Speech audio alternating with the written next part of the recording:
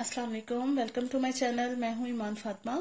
और आज जो है, मैं आपके पास एक और वीडियो लेकर आई हूँ, ठीक है? जैसा कि मैंने आपको लास्ट वीडियो में डिपॉजिट स्लिप के बारे में बताया था। तो इस वीडियो में चेक भी उतना ही ज़रूरी है फिल करना और सही फिल करना ठीक है?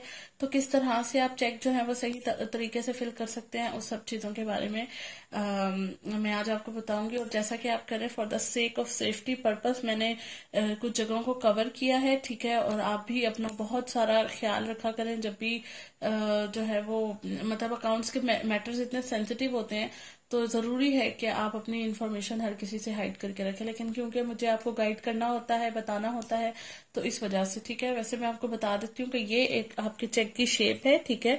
जैसा कि आप देख सकते हैं, यहाँ पर आपका जो भी चेक नंबर होता है, वो लिखा हुआ होता है, यहाँ पर वो माइकर की रीडिंग लिखी हुई होती है, यहाँ पे आपका अकाउंट नंबर और अकाउंट टाइटल लिखा हुआ होता है, और यहाँ पर जो भी आपकी ब्रांच होती है, वो लिखी हुई होती है, ठीक है?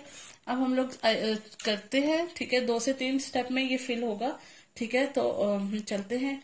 अब फ़र्ज़ करें कि सबसे पहले, पहली कंडीशन ये है, क्योंकि मैं चेक ज़्यादा वेस्ट नहीं कर सकती तो इस वजह से ऐसा है कि मैं एक ही चेक पे आपको दो से तीन चीज़ें बताऊँगी, ठीक है?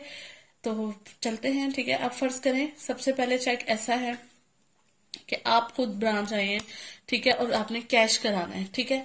तो आप क्या करेंगे? पे में लिखेंगे सेल्फ पे में लिखेंगे सेल्फ ठीक हो गया। उसके बाद आप यहाँ पर जो भी डेट है, आप वो डेट लिखेंगे। डेट लिखने के बाद आप यहाँ पर अमाउंट लिखेंगे। फ़र्ज़ करें आपने निकलवाने हैं ट्वेंटी थाउज़ेंड ठीक है। आप यहाँ पे ट्वेंटी थाउज़ेंड साथ लिख देंगे ओनली ठीक हो गया। और यहाँ पर फिगर्स में लिखेंगे ट्वेंटी थाउज़ेंड अच्छा नॉर्मली लोग आते हैं साथ स्लैश डैश और पता नहीं फिगर्स में जब लिखने पे आते हैं।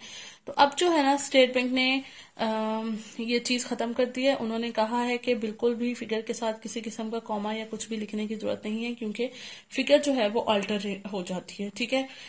अच्छा एक ये हो गया और उसके बाद नेक्स्ट आप एक अपना सिग्नेचर यहाँ पे करते हैं, ठीक है?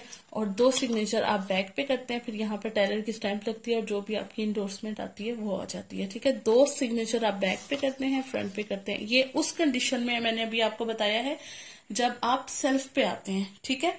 नेक्स्ट वीडियो में मैं आपको बताऊँगी कि किस तरह ओके अच्छा for the sake of understanding ताकि आप लोगों को समझ आ जाए। मैं स्टेप बाय स्टेप एक ही चेक पे तीन वीडियोस बनाऊँगी ताकि आप लोगों को समझ आ जाए। इस टाइम मैंने जो पहली वीडियो बनाई है वो ये कि आप सेल्फ पे आए हैं, आप खुद आए हैं, ठीक है, और आपने कैश निकलवानी है तो इस तरह से सेल्फ लिखेंगे ट्वेंटी थाउज़ेंड लिखती फिगर लिखेंगे डेट लिखेंगे और बैक पे दो साइन करेंगे और अपना, अपनी ट्रांजेक्शन कंप्लीट करेंगे। ठीक है, अगली वीडियो में मैं आपके लिए कुछ और लेकर आऊँगी तो मेरे साथ रहिए। मैं वीडियो को मजीद एक्सटेंड नहीं करती हूँ, बस आप मुझे देखते रहिए मेरी वीडियोस को देखते रहिए और प्लीज़ मेरे चैनल को ज़्यादा से ज़्यादा सब्सक्राइब करिए ताकि मैं मजीद वीडियोस आपके लिए लेकर आऊँ। थैंक यू अपना बहुत सारा ख्याल रखिएगा। अल्लाह हाफिज।